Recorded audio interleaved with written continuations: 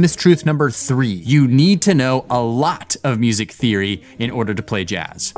False. Contrary to popular belief, you really don't need to know that much theory in order to play jazz or to even get started playing jazz. In fact, the basics that you really need to know is chord progressions and how they work. So for example, understanding 251 chord progression or a 1625 chord progression. Chord progressions you see a lot of times in jazz is super important. Understand like what chord tones are. So how do you spell a major seventh chord? It's root, third, fifth, seventh, understanding the five main qualities of seventh chords, understanding minor harmony, right? What's a two, five, one in a minor key? It's a half diminished chord followed by a dominant seventh chord and then a minor one chord. And then even having a basic knowledge of scales can help you just understand theory more in general revolving around jazz and how to start playing it.